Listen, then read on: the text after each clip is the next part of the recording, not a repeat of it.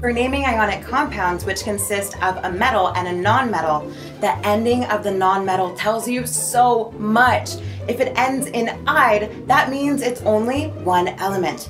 If it ends in ate or ite, that makes it a polyatomic atom, with the exception of hydroxide and cyanide, which are also polyatomic atoms. For example, sulfide, it ends in ide, which means it's one element, making it only S.